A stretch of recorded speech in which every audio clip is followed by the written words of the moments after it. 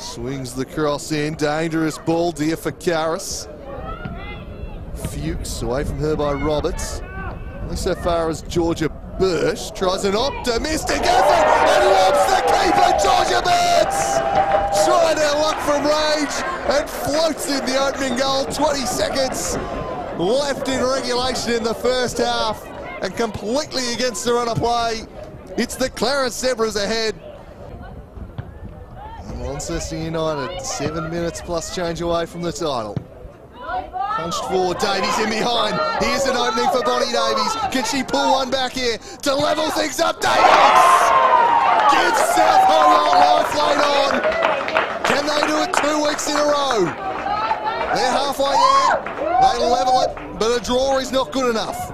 They still need one more. One all with seven minutes to go.